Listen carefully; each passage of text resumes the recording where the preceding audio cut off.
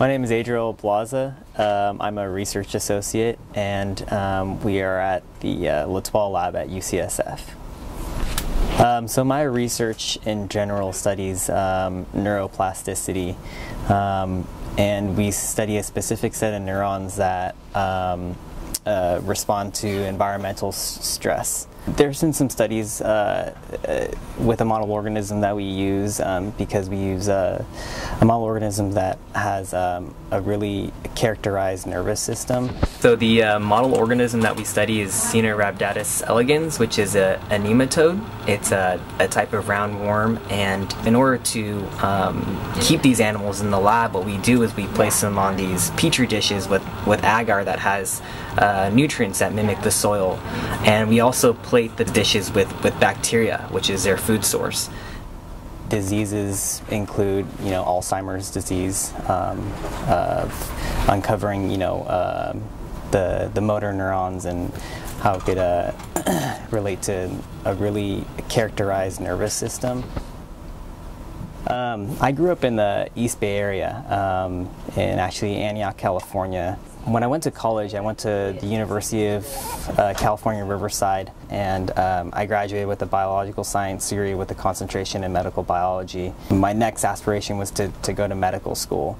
Um, when I went to Riverside, I actually um, became inclined in, into research. Um, it was one of my microbiology classes where a teacher had an opening position in their lab to be just like a lab assistant, and that's what kind of um, hit me. Um, I realized how research and how science is, you know, the basis of what we know in in all areas of life. So, um, especially in, in, health and in medicine, um, research is definitely the foundation.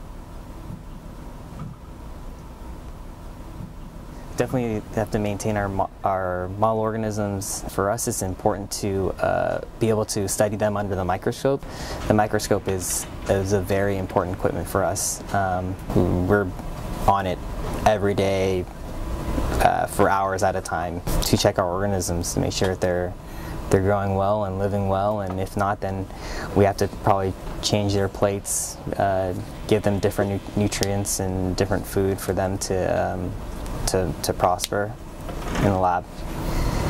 With science, what I've learned, especially during my, my thesis project, I uh, learned that there's a lot of trial and error. I, I realized that, you know, that's actually a good thing. You could really learn a lot, and that's, that's what's great about science is that um, sometimes your experiments don't work out, and um, uh, the best way or best outlook to, to go about it is actually learning why why it didn't work. And and sometimes you'll actually discover um, new ideas and new ways of thinking and kind of change your whole project around.